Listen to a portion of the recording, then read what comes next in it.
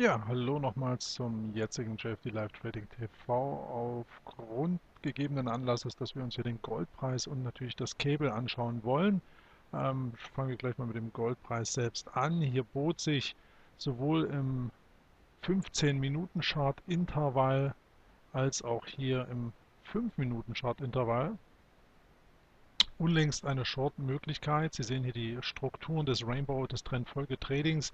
Ähm, hier der M5 ganz klar negativ aufgefächert durch den gestrigen Sell-Off hier zur US-Session. Hier genau eingekreist, hier praktisch die US-Session, die praktisch den ja, Verfall, der sich hier auch schon aufgrund der gestrigen Rainbow-Struktur andeutet, deutlich nach unten trieb. Ähm, Gold fast 30 Dollar Tagesverlust.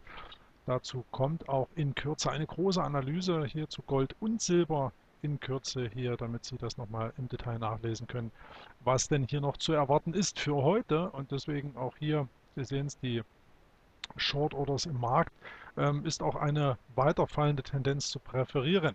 Hier im M5 zunächst ag aggressiver ein ähm, Trade gestartet, schon vor wenigen Minuten, vor dem Hintergrund eben, dass wir hier ähm, diese fallende Tendenz mitnehmen wollen. Im M15 auch in der letzten 15 Minuten Kerze hier eine Möglichkeit, eben wahrgenommen, um einzusteigen in den Trade. Faktisch aber Gold bislang nur knapp 4,50 Dollar gelaufen. Das ist deutlich unter Range. Sie sehen auch hier den Handel der Asia-Session.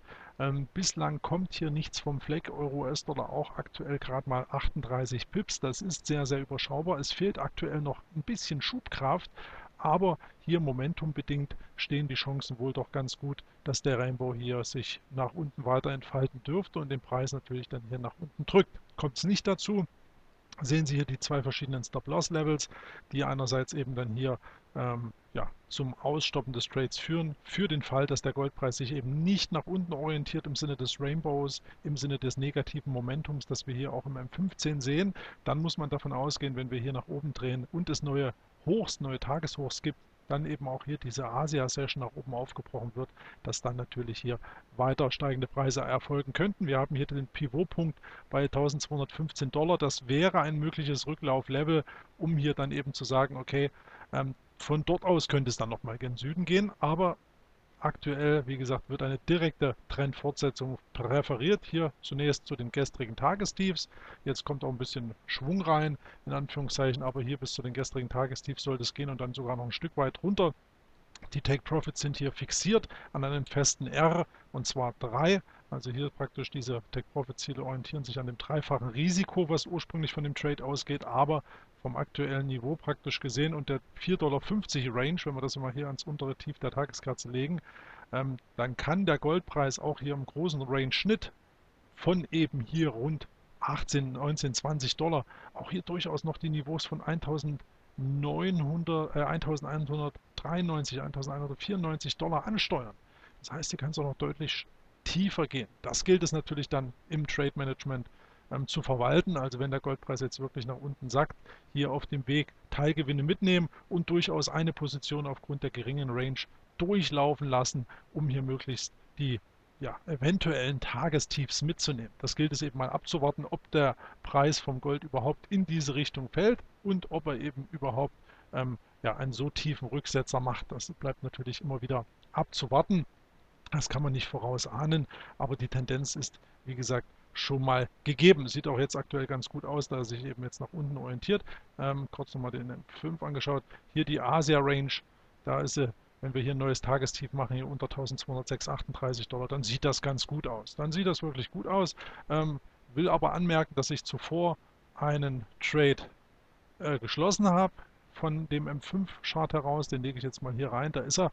Hier erfolgte vorhin im M5 der Entry und dann gab es aber hier eine starke Gegenbewegungskerze und das war knapp 0,5 R minus, die ich hier schon hatte. Und da ist es hier Uso in meinem täglichen Tagesgeschäft, dass ich hier praktisch den Trade dann auch gern beende bzw. einen Teilverkauf mache im Verlust, um das Risiko nochmal zu reduzieren. Also ich lasse mich ungern mit dem ganzen Risiko ausstoppen, als vielmehr eben mit der Hälfte. und insofern hier kein Beinbruch, 50% des Trades rausgenommen. Natürlich kann man jetzt sagen, ärgerlich im Zuge dessen, dass es ja dann danach jetzt doch neue Tiefs gab, aber wer weiß das schon. Im Prinzip, wenn ich hier einen Einstieg starte, dann soll es relativ zügig, gerade aus dem M5-Handel heraus, relativ zügig in die Gewinnzone laufen. Wenn das nicht passiert, ja dann wird der Trade eben hier vorzeitig reduziert vom Risiko, beziehungsweise manchmal sogar vorzeitig direkt beendet.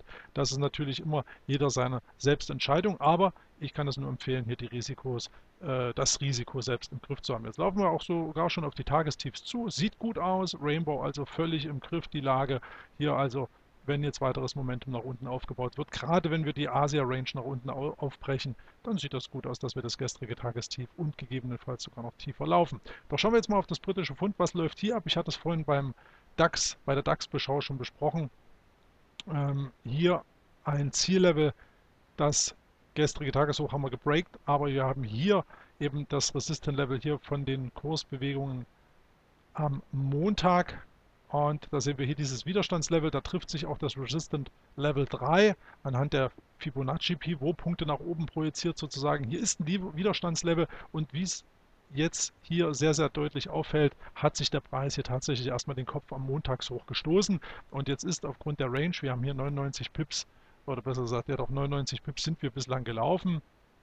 Ähm, und die durchschnittliche Range ist im Prinzip hier zwischen 90 und 100 Pips. Also rein statistisch geht jetzt hier beim britischen Pfund gegenüber dem US-Dollar nichts mehr. Also die Tagesrange ist ausgeschöpft. Rücksetzer hier an das gestrige Tageshoch könnten unter Umständen nochmal genutzt werden, um hier einen Move nach oben mitzunehmen, sofern sich das Währungspaar dann eben hier nochmal in Richtung der Tageshochs begibt. Aber aktuell, jetzt sind wir auch kurz vor der Mittagssession, ähm, bleibt mal abzuwarten, ob hier wirklich noch Drive aufkommt. Gehen wir natürlich hier über 1,54 45 rund, also definitiv über das Montagshoch und das Resistant Level 3 anhand des 5-Minuten-Charts, dann darf es auch durchaus noch ein Stück weitergehen.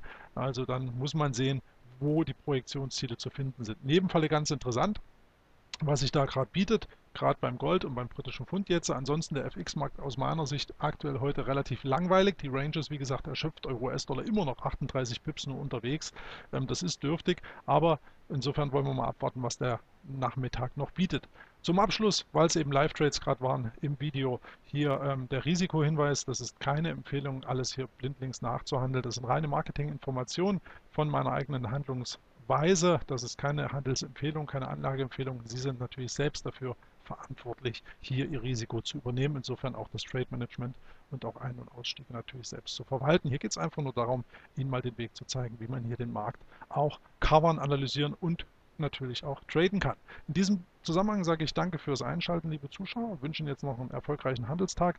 Wenn Sie mögen, schreiben Sie im Stream noch irgendwas an Wünschen oder Ideen in unserem JFD Desktop. Da können wir natürlich interaktiv agieren und bis dahin, beziehungsweise bis zu einem möglichen Nachmittagsvideo, wenn die US-Session beginnt, dann sage ich jetzt erstmal Mahlzeit an alle Zuschauer und wünsche noch einen schönen Resttag. Bis dahin, Ihr Christian Kämmerer.